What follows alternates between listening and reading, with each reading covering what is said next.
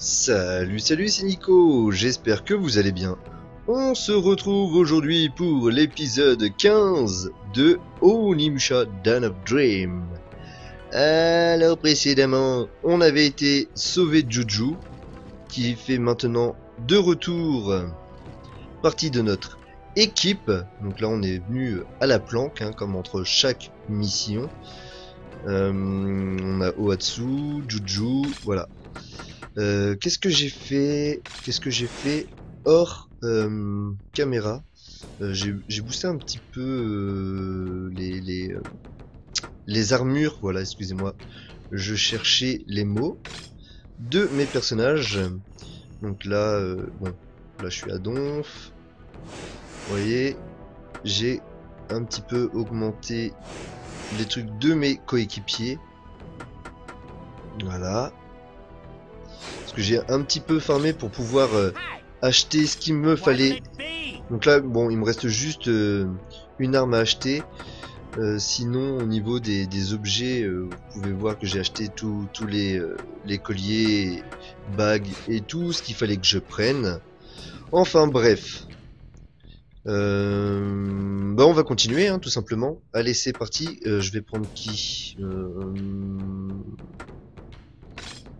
Ouais. Let's move out. The Western Hospital in Osaka. Correct! Of course, its real name is the San España. It appears a Westerner with tattoos on his arms has been taken there. Sounds like Roberto. Well, he must be okay if he's in a hospital then. Wait, Soki. Something about the name San España. Oh no! Luis Frois! What's wrong? You're just staring into space. Aaron. Is it Soki and Ohatsu? No, not at all. I know how you feel. I'm jealous when I see them too. In my case, it's because the one I'm thinking about never seems to notice me. You're talking about Tenkai, aren't you? Oh, fine. Come right out and say it. Anyway, what are your feelings towards Soki? Lou? Well, he's an important ally. And like a brother to me. So, it's probably not true love. But just a crush or something. Hmm. I don't know. You're so naive. You're one to talk. Jubei! Jubei, we have to hurry to Osaka. We found Roberto. Right. Soki, Yeah? pay more attention to your little sister. Poor thing. She's so confused right now. Ah, Aaron! What? Comment mettre les gens à l'aise Alors, niveau 10, le savant fou. Et pas le savon fou. Suki et les autres partent pour l'hôpital de San Espana selon la précieuse piste de Minokichi. Louise Froid est sur le point de procéder à ses viles expériences sur le corps de Roberto.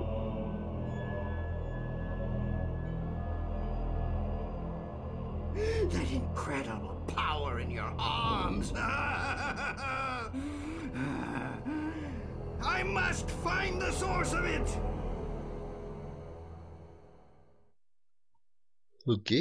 Alors euh, là, tout simplement, j'ai pris Oatsu. C'est parce que je vais en avoir besoin pour euh, combattre le boss. Euh, du moins, j'espère que je vais le faire dans cette vidéo. Logiquement, oui, parce que c'est pas très long. cette mission est pas très longue. Et vous voyez, j'ai déjà des bestioles volantes, donc du coup, c'est quand même plus pratique avec Oatsu. Parce que alors là c'était il avait une espèce d'aura rouge autour de lui.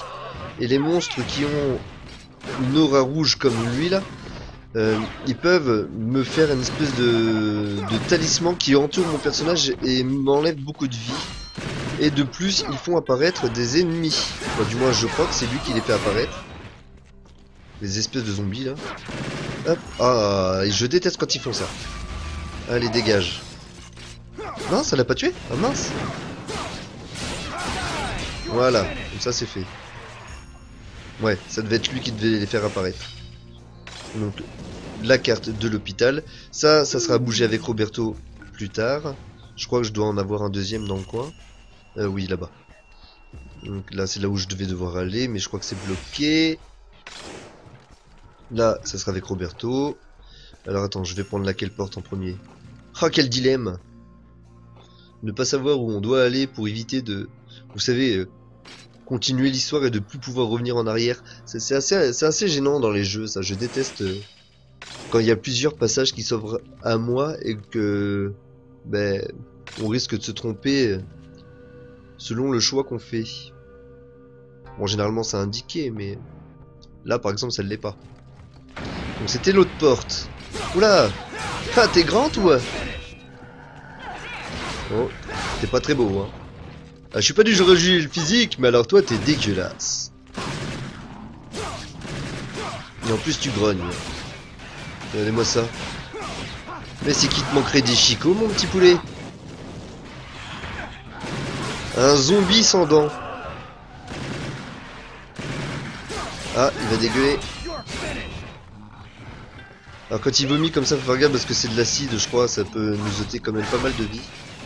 Enfin, nous ôter pas mal de vie. Je me comprends quand je dis ça. hein. Hop, voilà. Une petite purification, ça fait du bien.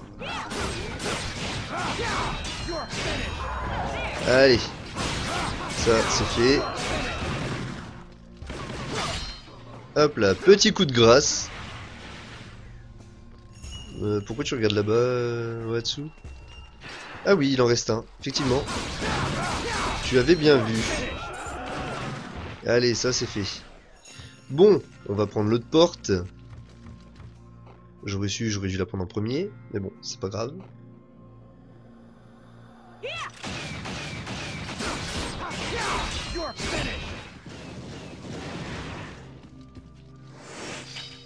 Alors, le code du guerrier, ok.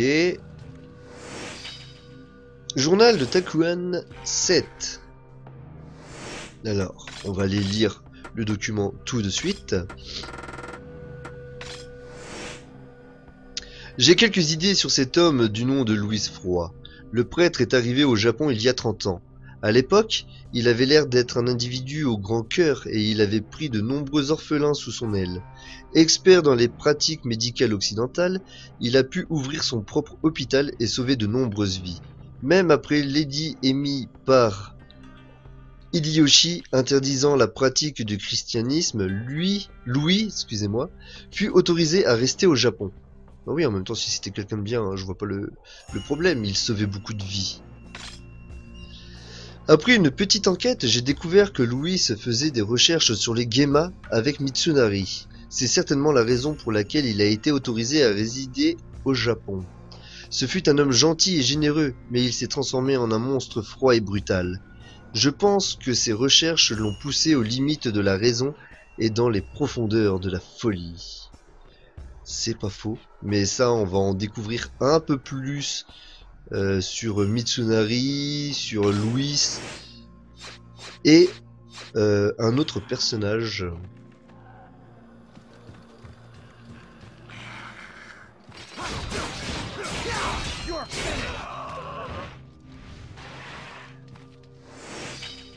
Alors, la clé, ok. Là, c'est quoi ça? Ah, potion niveau 2. Ça marche, il a pas de souci. Oui, qu'est-ce qu'il y a là-dessous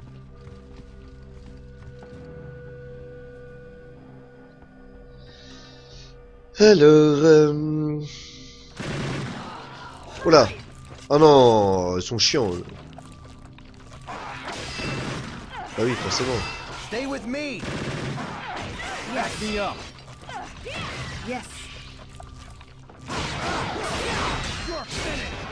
Ah, je les déteste ces ennemis. hein. C'est... euh. Oh, il y a beaucoup d'ennemis que je déteste. hein. Il y a beaucoup d'ennemis que je trouve chiants. Et eux, c'est les pires. Là encore, ça va, mais alors dans le royaume des ténèbres... oh, oh,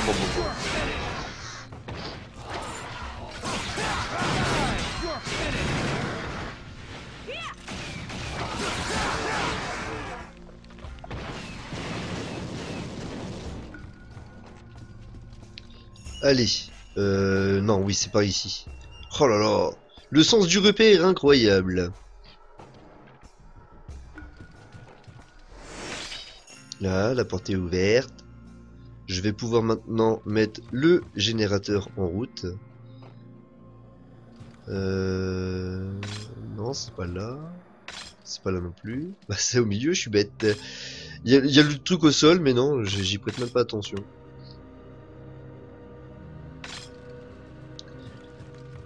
Moi, je vous le dis, hein, malgré l'époque euh, dans laquelle on se trouve, euh, la technologie est quand même euh, très, très récente.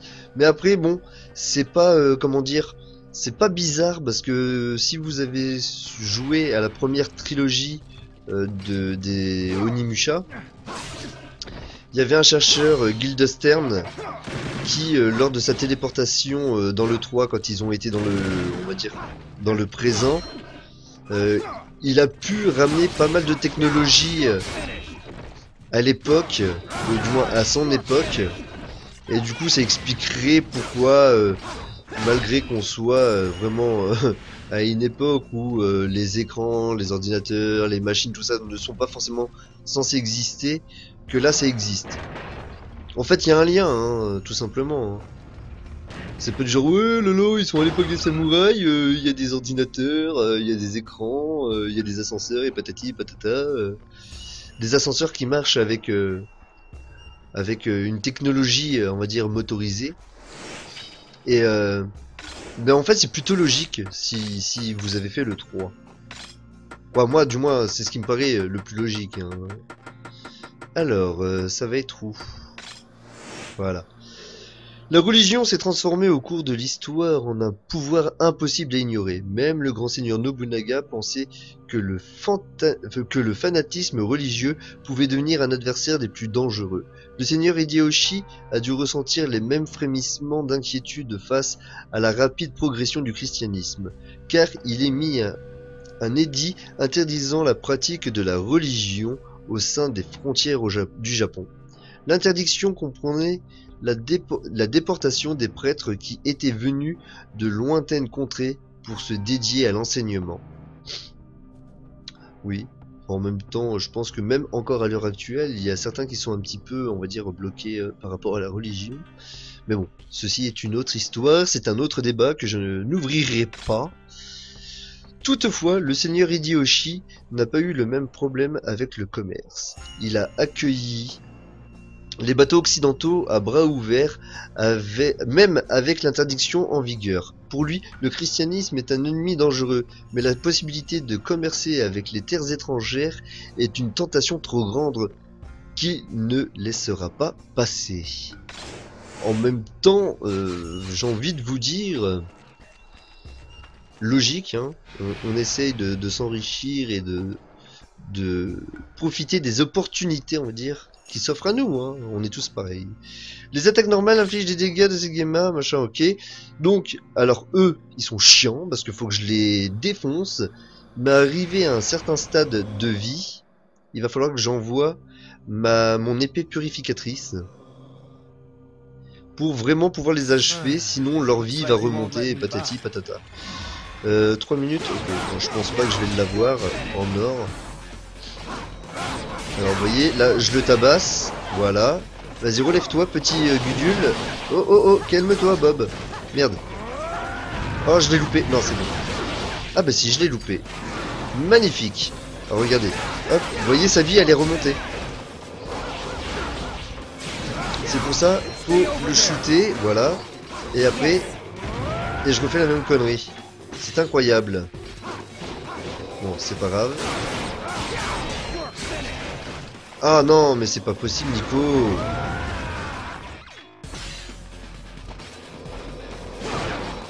Aïe. Alors on va se mettre comme ça. Hop, et ça. Ouh, voilà. On n'en parle plus. Ouais, bon, c'est pas étonnant. Ouh, des champignons rouges. Let's go. Euh, ouais, ici, il faudra que je revienne avec Roberto. Ok, ça marche. J'ai pas fait trop attention quand je suis arrivé, mais... euh,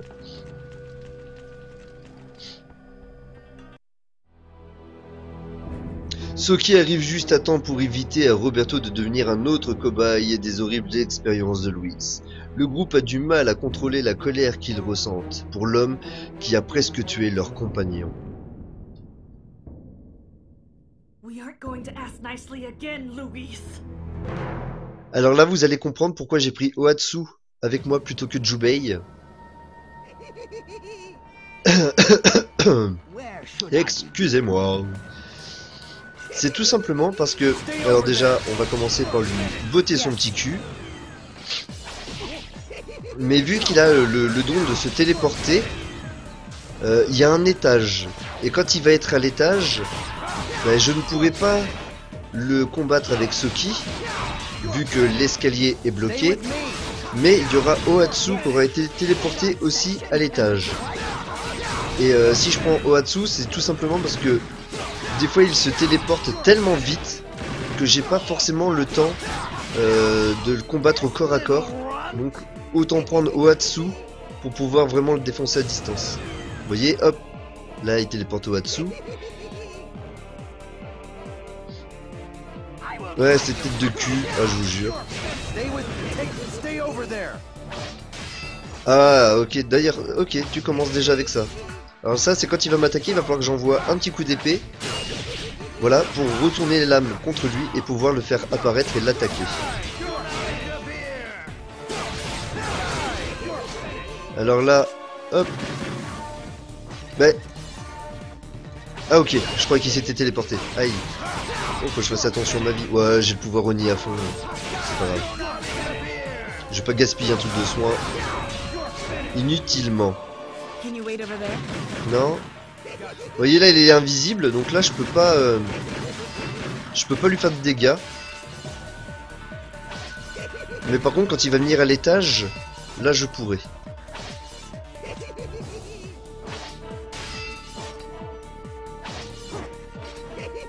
Mince, je me suis trompé. Hop.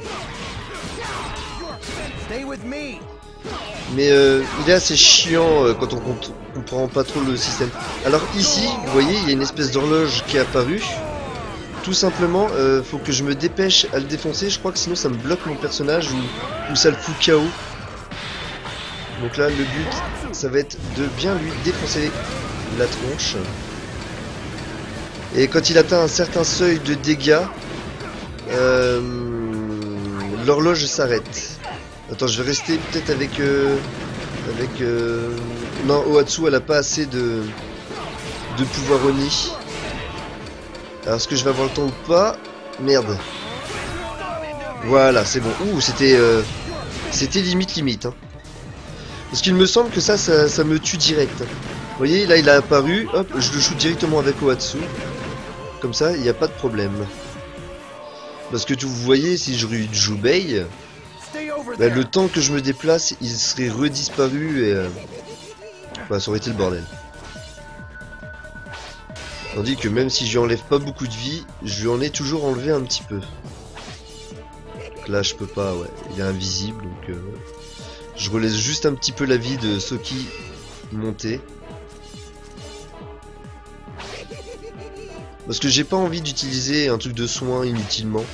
Tout en sachant qu'en plus avec Soki, euh, j'ai le pouvoir de l'Oni qui est accessible, car euh, j'ai toute la puissance nécessaire. Vous voyez le truc violet en haut à gauche et en surbrillance, quand il est en surbrillance comme ça, ça veut dire que si par exemple je meurs ou à n'importe quel moment, je peux utiliser le pouvoir de l'Oni. Alors attends, ça va être lequel? Ah, je suis fait avoir.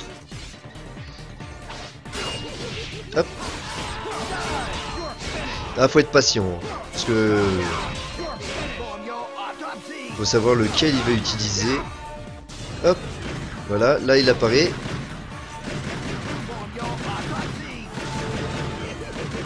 Vous voyez, je lui enlève pas beaucoup de vie, mais c'est toujours mieux que rien.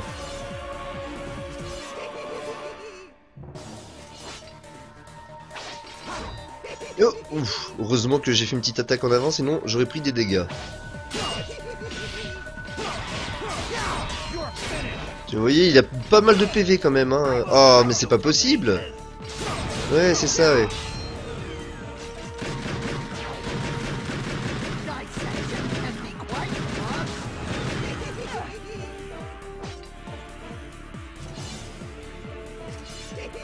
Donc là, il y a 6 endroits où il peut possiblement être caché. Faut juste attendre de trouver le bon. Bon, il est à côté de moi. Alors peut-être qu'il y a une autre technique hein, pour savoir où il est, mais euh, de toute façon on est obligé de lui renvoyer ses lames pour, euh, pouvoir le, faire réapparaître et lui ôter de la vie. Alors attends. Ok. Ah mince, j'avais pas vu que c'était celle-là là-bas. Je croyais que c'était les autres. Non, c'est pas grave. C'est pas grave, c'est pas grave. Faut juste un tout petit peu de patience et puis ça va aller tout seul. Voilà, je vais pas te faire euh, un truc, je préfère t'attaquer comme ça. Hop, on va changer de personnage. Oh Petit coquinou.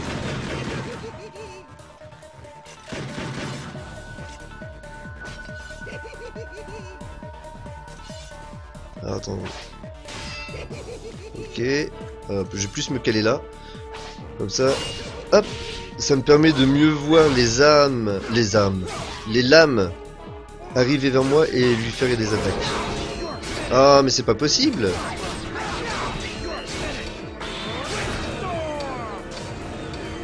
Ah, là, il va être ici. Hop, on va l'utiliser le pouvoir à fond. Voilà. Et c'est fini.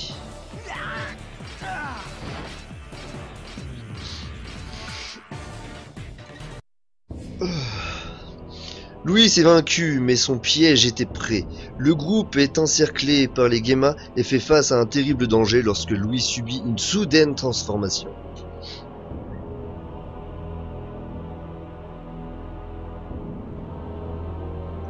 Avec son changement- d'apparence, Louis a aussi subi un changement de personnalité. La menée, j'ai pas eu le temps de te lire. I can only control the Genma Rosenkratz in his body for so long. Go now. Le groupe emmène Roberto avec eux et fuit l'hôpital. On, on sait maintenant que le démon qui est dans le corps de Louis Froid, c'est Rosencraft. Rosencraft, excusez-moi. Un petit peu mal prononcé. Bon, bon, vous commencez à être habitué maintenant. Yeah. I'm quite worried. His body is a mess after his insides were toyed with like that. It's a wonder he's still alive at all. I'll watch over him. Everybody, wake up! Roberto is finally up!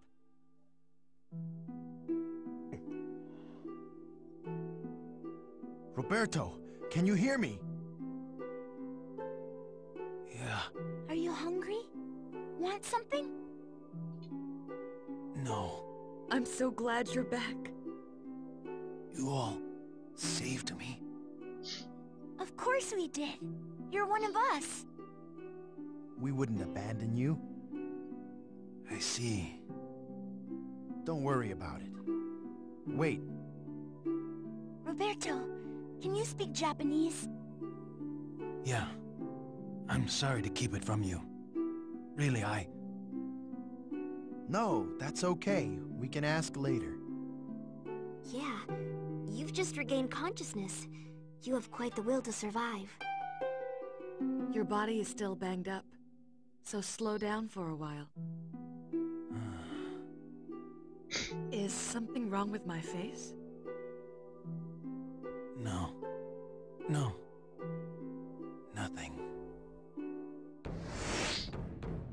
Alors, les points exorcisants.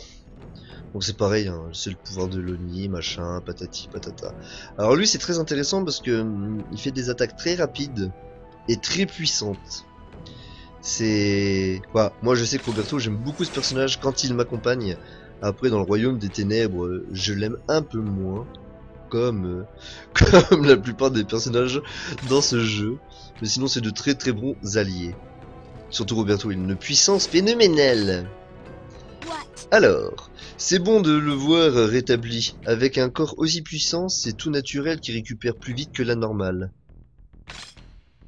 Par contre, je suis sous le choc de savoir qu'il comprenait le japonais tout ce temps. Pourquoi il l'a caché ça?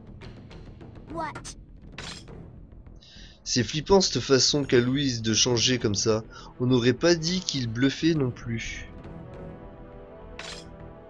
L'autre, Louis n'arrêtait pas de me supplier d'emmener Roberto avec moi et de nous enfuir. Ce Louis-là ne m'a pas donné l'impression d'être un ennemi. Bizarre. Je me souviens que Roberto est appelé l'homme aux perles exorcisantes. Ça veut dire quoi? Il a vraiment aucun lien avec l'Oni? Ah ça? On en découvrira un peu plus plus tard. Je suis content de voir que Maître Roberto est de retour parmi nous. Il s'en est fallu de peu, une minute de plus et il servait de cobaye à une des autopsies de Louis. Une, une autopsie? Incroyable Comment peut-il découper des gens vivants? Il a mis Roberto dans un sale état. Il va mettre un certain temps à se, à se rétablir totalement. Des nouvelles? Hmm, Eh bien, il y a eu un rassemblement gigantesque de tout le clan Mino de l'autre côté du pays. Attends, t'appelles ça des nouvelles? Le gardien du portail qui a rencontré le Nimusha, qui a vaincu Nobunaga, y était. Il a donné un discours très intéressant. Ah, cette année manette là, vraiment. Il a précisé qu'il allait se marier dans le ventre ou nez de la femme qu'il va épouser. Il y a un bébé.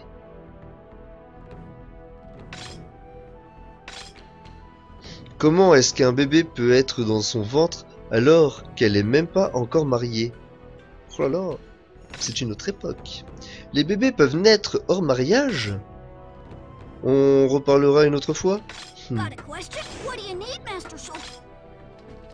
Ben, euh, à cette époque-là, c'était pas très bien vu, mais oui, c'est c'est possible. C'est une présence maléfique qui va bien au-delà de la portée de l'arbre mère Gema.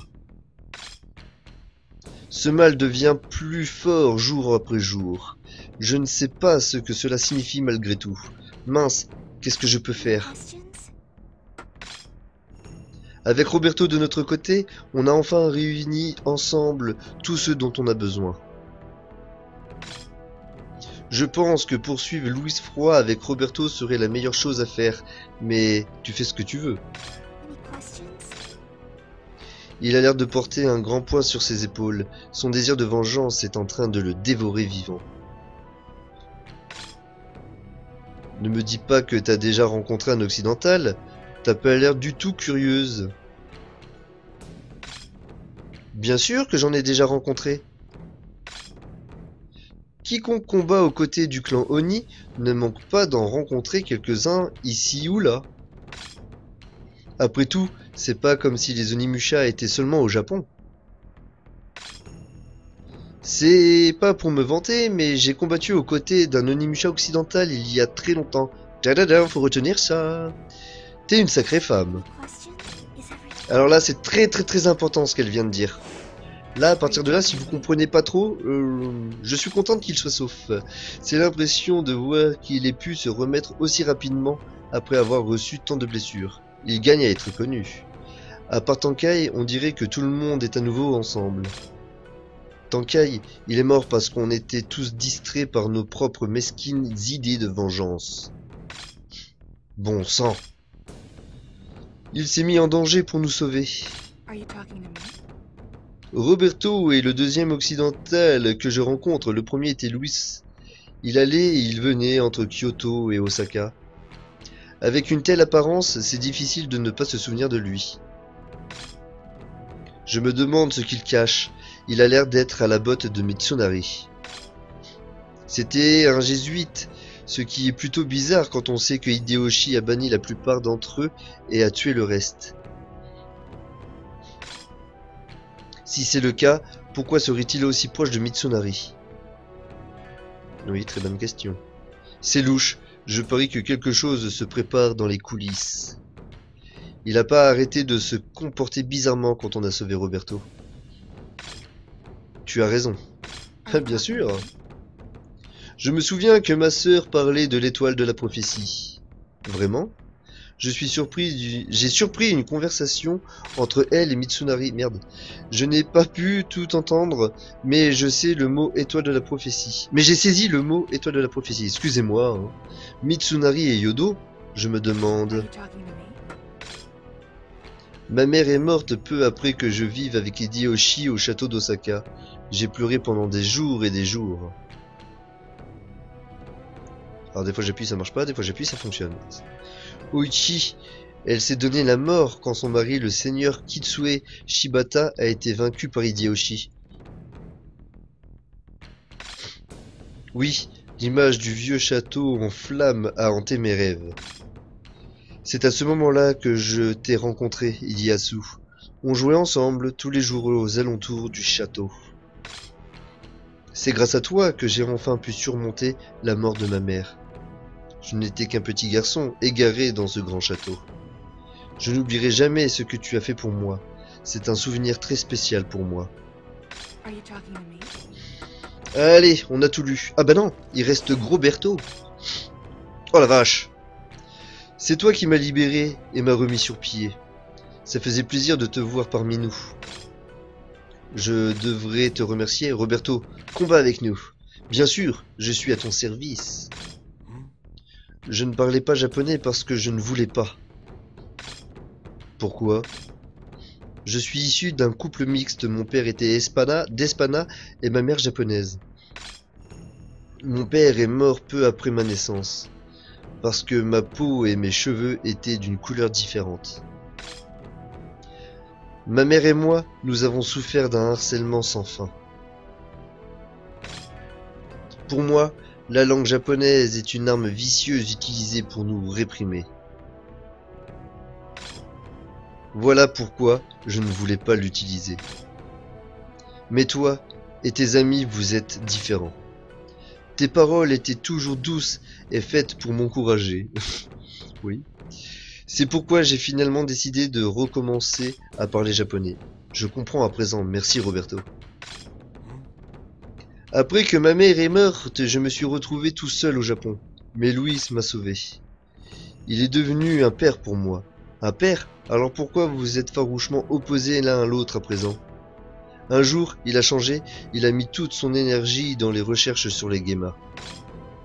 Puis, il a commencé à utiliser les enfants qu'il avait sauvés pour ses expériences. J'étais l'un d'entre eux. 26 de mes amis ont laissé la vie dans ces expériences. J'étais le prochain, mais Dieu sait pourquoi, je me suis retrouvé à l'extérieur du, centre. Excusez-moi. Je sais pas pourquoi j'étais épargné, et je ne me souviens pas du tout du moment où c'est arrivé. C'est à cet instant que j'ai compris que mon destin était de tuer Louis. Mais quand nous nous sommes échappés tout à l'heure, j'ai remarqué quelque chose d'étrange chez lui. Oui, tout à coup, il a changé et nous a dit de fuir. Il parlait aussi des Gemma. J'ai des doutes à présent. Quand on a quitté ma cellule, tu m'as donné un livre, tu te souviens? Oui, je m'en souviens vaguement, c'était un livre écrit en langue étrangère. Et je n'y comprenais rien. C'était quoi? Enfant, je lisais avec mes amis. Il a été écrit par un homme appelé Shakespeare. Qu'est-ce que ce livre a de particulier? Tu n'as pas remarqué quelque chose de coincé entre les pages? Du livre? Non, mais bon, je ne l'ai pas vraiment examiné de près. Ah, je vois. Ce n'est pas grave. La jeune femme qui s'est occupée de moi. Oh, Oatsu, elle t'a protégé comme une lionne. Oh, Oatsu. Quoi? Oh, rien, rien du tout. Quand tout ça sera terminé, je pense que j'irai en Espana. Le pays de ton père? Tu viendras avec moi, Soki? Moi, en Espana? Ton pouvoir est bien trop grand pour un seul pays. Tu devrais aller voir le monde au-delà des mers. Merci pour la proposition. J'aimerais tant voir le monde. Alors allons-y une fois que tout sera terminé. C'est promis. Allez. Parce que là, il y avait beaucoup de lectures. Allez, moi, je vais m'arrêter ici. J'espère que cette vidéo vous aura plu et fortement diverti.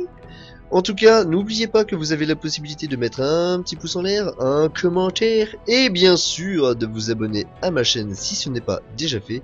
Et je vous dis à très bientôt pour le prochain épisode de Onimusha Dan of Dream. Allez, salut